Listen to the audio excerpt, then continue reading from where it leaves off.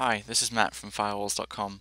In this tutorial I'm going to show you how to set up SonicWall single sign-on in order to enable transparent user authentication on your SonicWall firewall. You're required to have completed the AD integration prior to implementing the single sign-on agent on the server and the configuration on the SonicWall. Let's jump into our AD domain controller to get this set up. The first thing that we need to do is log into our mysonicwall.com account. Within mysonicwall you'll be able to go to the download center and we need to find the directory services connector. We're going to download the latest version for our Windows operating system. Once the setup has been downloaded we need to install the agent. We're going to click next through the instructions here.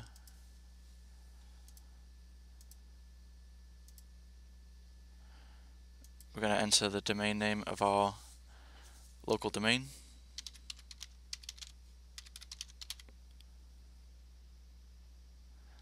We're going to enter our domain admin account.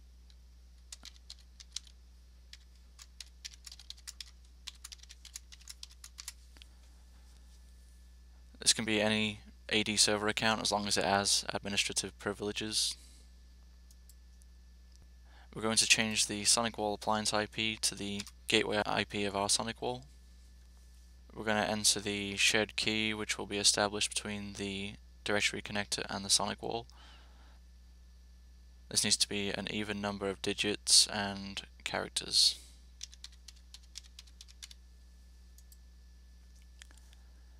We're going to install.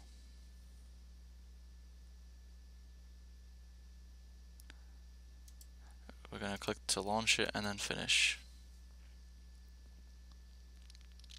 So here is the SSO agent installed on the domain controller. We now need to jump into the SonicWall to do the configuration on the firewall. On the SonicWall appliance we need to navigate to the managed section. We'll then need to go under system setup, users and then settings. And the first thing we're going to do is enable the single sign-on agent.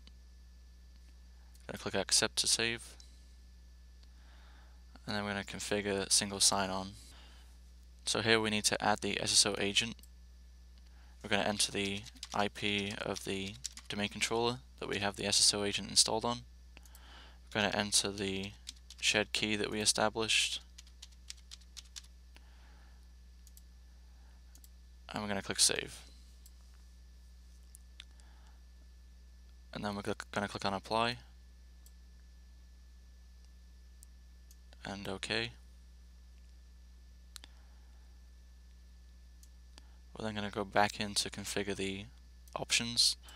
The green light will indicate that the connection between the SonicWall and the server has been established.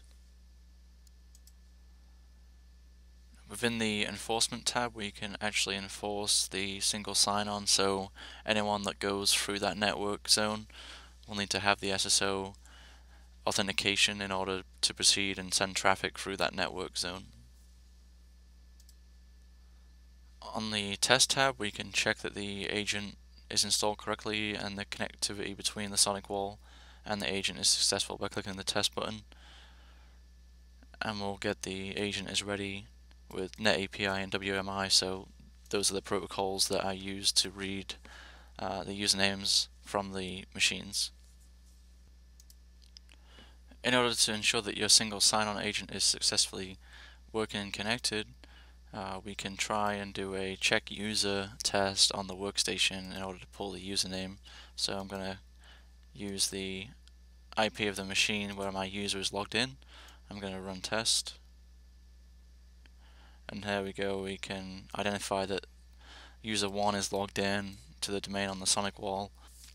Uh, the user was identified via Net API so now in our reporting we'll be able to see that the username uh, will show rather than the IP address of the machine. So if you have a lot of dynamic hosts, this will help identify which users are, are accessing which resources on the internet.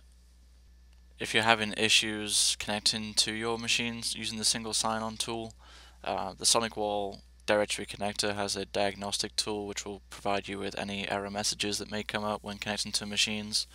Uh, the most important things to be able to connect to the machines is to make sure that you enable uh, Windows Management Instrumentation, WMI, both in and out on the local firewall, on the domain controller, and on the machine.